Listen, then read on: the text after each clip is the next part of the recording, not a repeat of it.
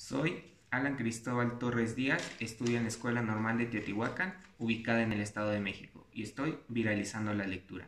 Hoy les voy a compartir un pequeño fragmento de La visión de los vencidos de José Emilio Pacheco. Los presagios según los informantes de Sagún. Primer presagio. Diez años antes de venir los españoles, primeramente se mostró un funesto presagio en el cielo una como espiga de fuego, una como llama de fuego, una como aurora. Se mostraba como si estuviera goteando, como si estuviera punzando en el cielo.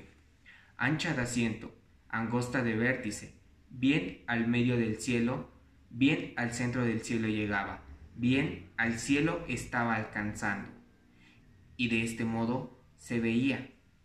Allá en el oriente nos mostró de este modo llegaba a la medianoche. Se manifestaba. Estaba aún en el amanecer. Hasta entonces la hacía desaparecer el sol. Y en el tiempo en que estaba aparecido, por un año venía a mostrarse. Comenzó en el año 12. Pues cuando se mostraba había alboroto general, se daban palmadas en los labios, las gentes, había un gran azoro hacían interminables comentarios.